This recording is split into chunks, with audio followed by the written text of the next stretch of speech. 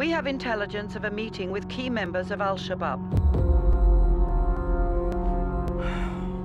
We believe that they're connected to the recent suicide bombing in Kenya.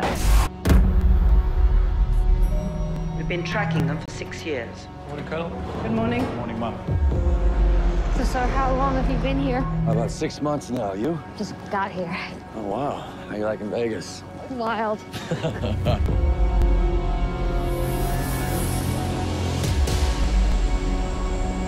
We have information they will be in Nairobi today. This is an operation to capture, not kill. We need an eye inside that house.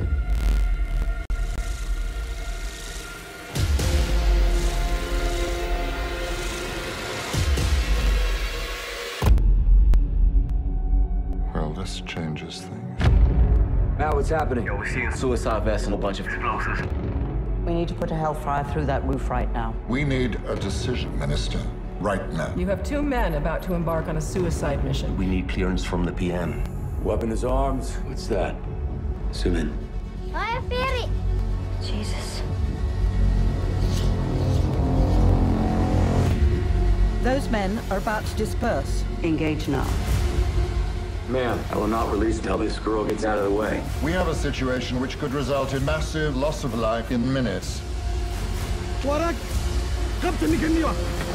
No, no, no, no!